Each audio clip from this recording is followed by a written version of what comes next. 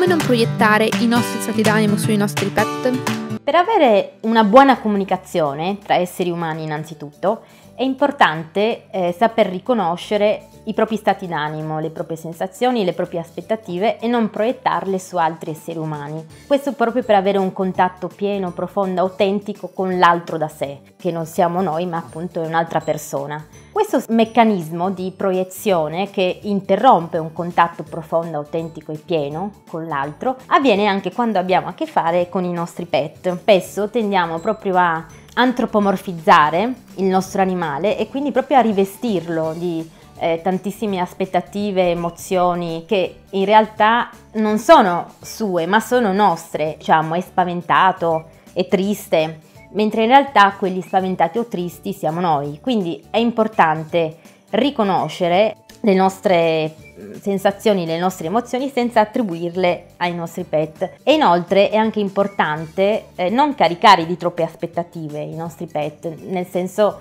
che spesso eh, se non fa la cosa che vogliamo, tipo eh, non, gli tiriamo la palla, non va a prenderla, non lo so, oppure non fa la pipì dove deve farlo, subentra un meccanismo un po' come se loro dovessero sempre fare a noi una buona performance.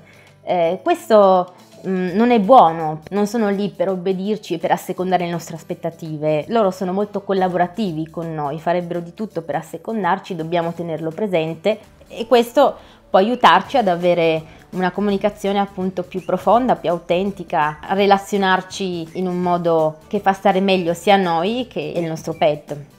Qui di lato vi lascio altri due tutorial dove rispondo alle vostre domande. Vi ricordo che per farmene di nuove non vi basta che iscrivervi alla nostra community www.bauboys.tv e non dimenticatevi di iscrivervi al nostro canale. Ciao Bauboys, ci vediamo al prossimo clip.